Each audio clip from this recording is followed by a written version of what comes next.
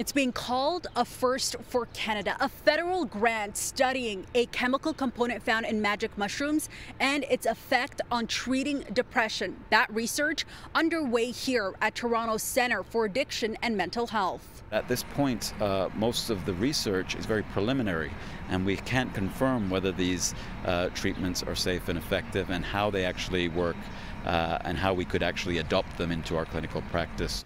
A little over half a million dollars in federal funding has been awarded to Dr. Ishrat Husain, who will study the safety and effectiveness of psilocybin on depression. It's been shown that psilocybin, uh, aside from causing quite potent psychedelic trips or psychedelic experiences, can also have therapeutic effects in people with depression.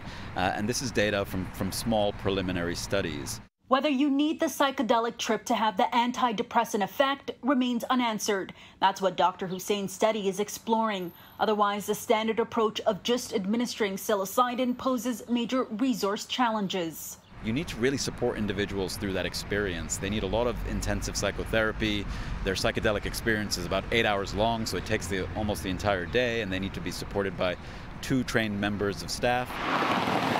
The clinical trial set to get underway will include 60 adults who have been living with depression for at least three years and have been resistant to treatments. The participants will be divided into three groups. A third will get a full dose of psilocybin plus a blocker. Another will be given the drug plus a placebo, while the rest will receive a placebo and a serotonin blocker. That will allow us to determine, firstly, is psilocybin uh, better than a dummy pill uh, at improving depression? And also, is psilocybin effective without the psychedelic effect in improving depression?